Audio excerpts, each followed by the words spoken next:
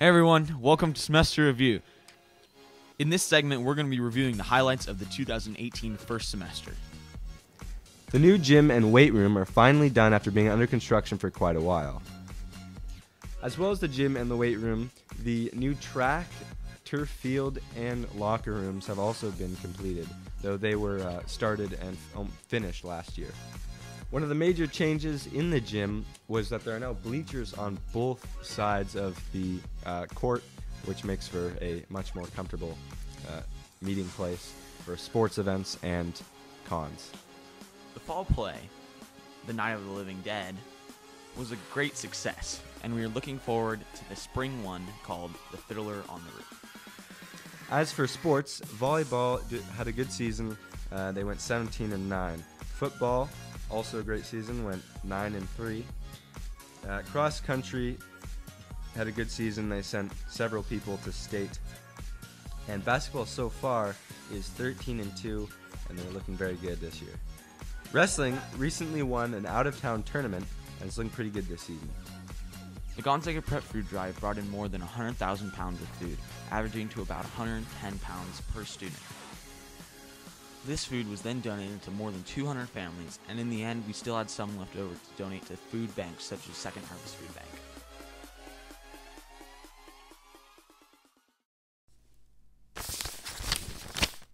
cast of the winter production of Fiddler on the Roof has been working for months, memorizing lines and rehearsing choreography in preparation for opening night. I managed to get an interview with Ricky Brown, the actor for the lead character Tevye, and this is what he had to say. What are the people like within the show? People themselves or the characters? Mm, cast members. Cast members. Yeah, I love them all. Um, everybody's unique. Everybody has their own different style of acting, and um, they all have something to bring to the table. I really appreciate, you know, uh, people that have like different skills and uh, all sorts of stuff. Like Caitlin Barr, cheerleader, and she's also good at acting. Uh, we're gonna look at another person, Tony Rupp. He's busy outside, and he also does acting too. Just all sorts of different characters. Who would you say is your favorite character from Fiddler on the Roof? Oh, I would definitely have to say, um, probably the butcher because um, his name is Lazar Wolf. Uh, he he is the he deals with a lot in the play. Um, I tell him, Tevye tells him that he can marry, he, he has permission to marry my eldest daughter.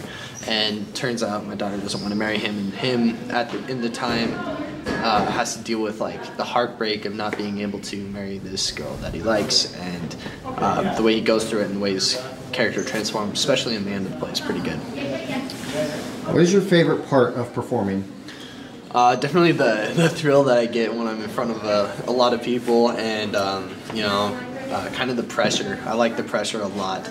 Um, the biggest pressure I've ever received because I have a ton of lines and a ton of blocking and I have a lot of the script. So uh, I'm excited and I'm on stage for a long time too. What can audiences expect to see from this show? Um, wow, a lot of emotion. Uh, you, there's a lot of laughs in there. Uh, there's a lot of good music in there. There's a lot of downs. There's a lot of um, just all around crazy emotion that you experience. The winter musical opens on February 7th and will continue the 8th, 9th, and 10th, then resume on the 20th and 21st. For more information on the school theater program, contact Mr. Bulger. Ticket prices are $10 and performance times are at 7 p.m., except for the 10th, which is at 3 p.m.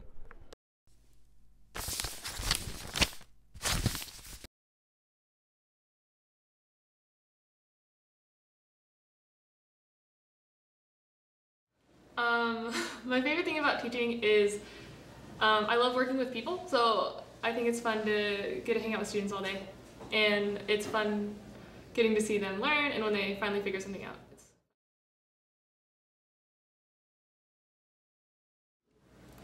I really like pizza and peanut butter and jelly sandwiches.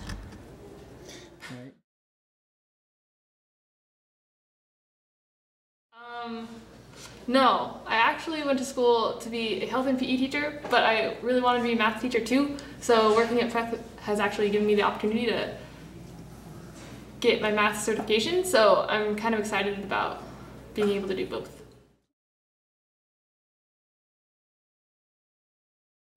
My dream car.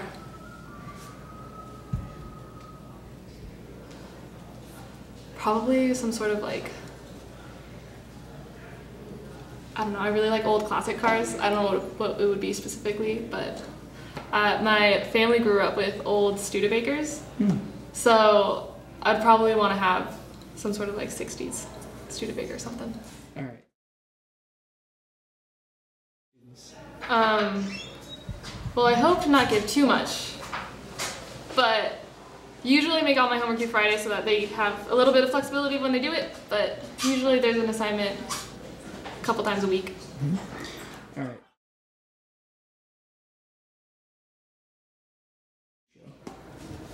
I'm a big fan of The Office. See.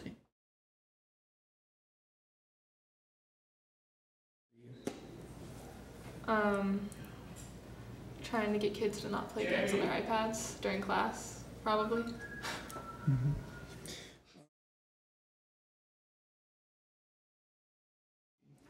Um, I'm a big fan of like running and being outside, and I like to hike. Uh, and I like to cook and bake and stuff like that.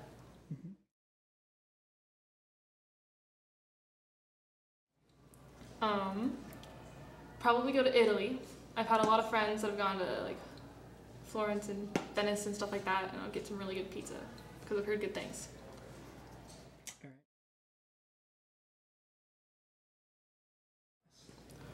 Um, I would tell kids to not stress too much about the final because I feel like students spend a lot of time stressing about the final and about tests and stuff like that when they could just be studying for the tests. And it saves a lot of time and mm-hmm. energy.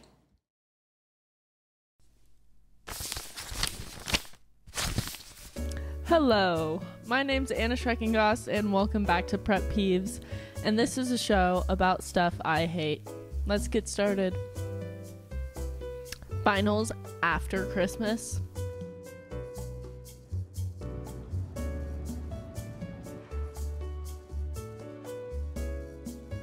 No drinks or food in the school.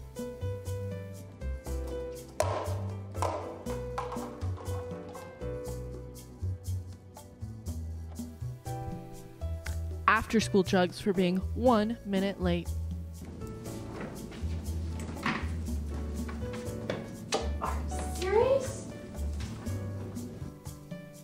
Cons.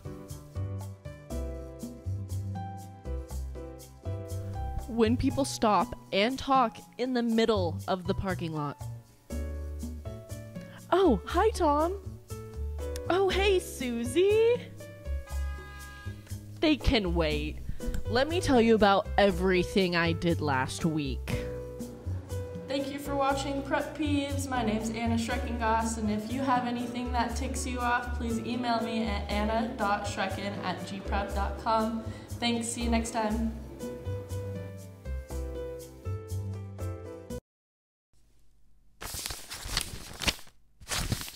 DI is a complicated club. The best way I can explain it is that it is a creative problem solving club organization. We do a lot of building, we do a lot of acting, we do some improvisation.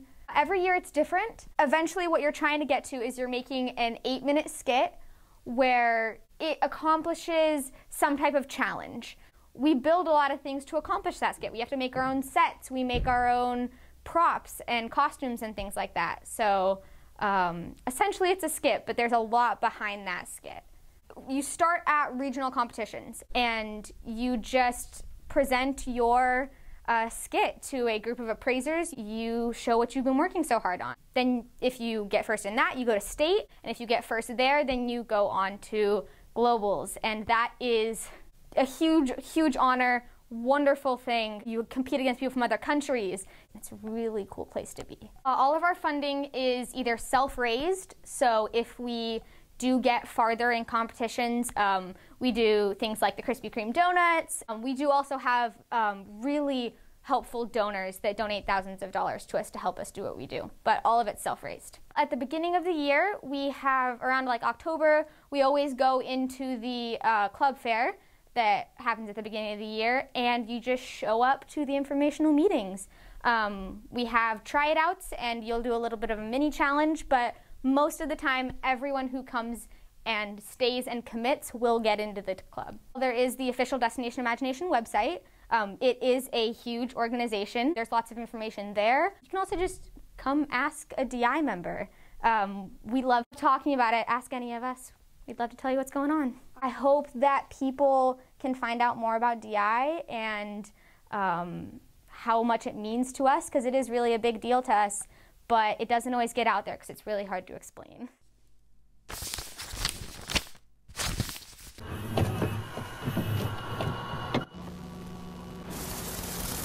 Sydney, are you ready? Sure. Okay. Let's go to the movies and he and see. So, Sydney, why did you decide to start film club? Because I'm really serious about film. Anyone who who knows me close will tell you that, and they'll affirm it. I've uh, wanted to be a director for eight years now, and uh, uh, the majority of the stuff I do in my free time relates to film. And I realized that the the school didn't have a film club, and it was. A, I realized that last year when I was a junior, and I thought maybe I should start this club. So I learned from the club moderator, uh, Mr. Andrews, who helped me make the club. I learned from him that people had tried to make a film club before, but uh, they weren't able to get it off the ground. But I wanted to make sure that mine succeeded. It's not currently at a stage I want it. and uh, I just had a meeting uh, yesterday, in fact, with yesterday would be Wednesday. I don't know when this is going up. So yesterday, Wednesday, I just had a meeting yesterday to establish a new schedule because uh, it wasn't going as well as I wanted it to because of the time constraints, and I feel like the time constraints are the main issue with Film Club because we don't have the time with one meeting a week to get everything done that we want to do.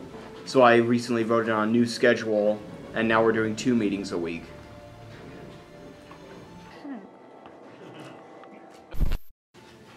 Do you think film club will be around next year after you leave?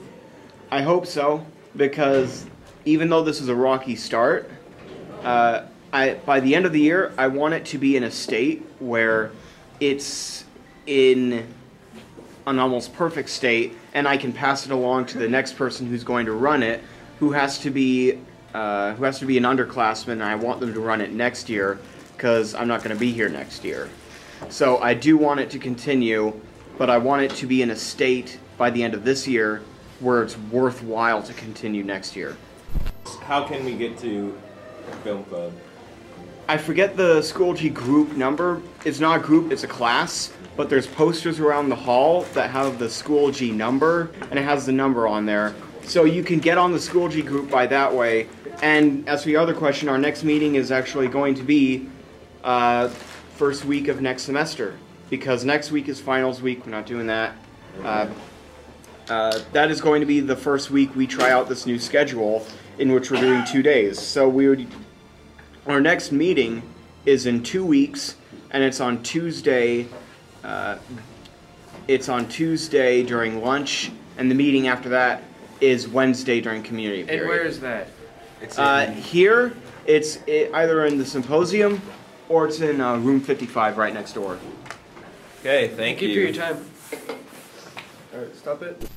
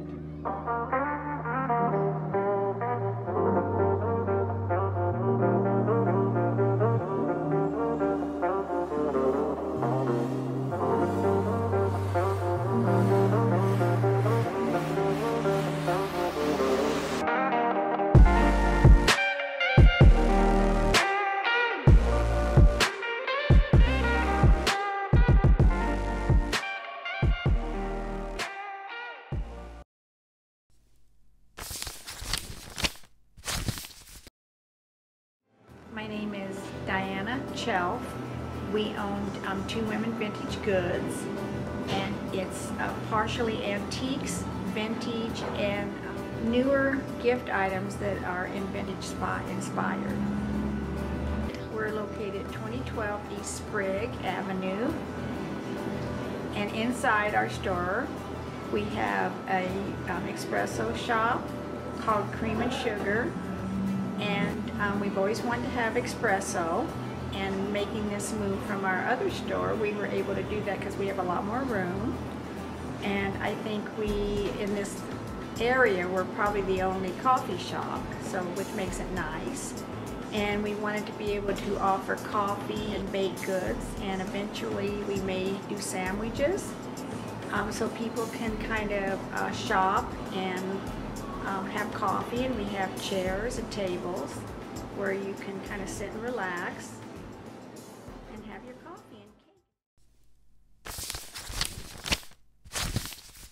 Hey guys, welcome back to Owen's Movie Reviews. Today we're reviewing Aquaman, the DC movie that was directed by James Wan, who also directed The Conjuring 1 and 2. All time, probably favorite scary movies, but we'll get into that later. Just kidding. No, we won't. But anyway, the cast is uh, comprised of Jason Momoa from Game of Thrones, for all you Game of Thrones fans out there, Patrick Wilson from The Conjuring, so he and James Wan working together again, and then Amber Heard, who starred in some other stuff. I don't know what she started, but sure she was good in it. Overall, the movie was so good. If you haven't seen it yet, go watch it right now. So good. Worth the price of admissions. Just saying. The visuals were incredible. Incredible. Um, the script was a little underdeveloped, like they could have worked a little more on it, but it was it was passable. The script was passable. I I've definitely watched it again. I've probably seen it two times by now. So good. I would recommend to see it in 3D. If you've already seen it in 2D, go watch it again in 3D. If you've already seen it in 3D, go watch it again in 3D. If you haven't seen it at all, go watch it in 3D. It is incredible.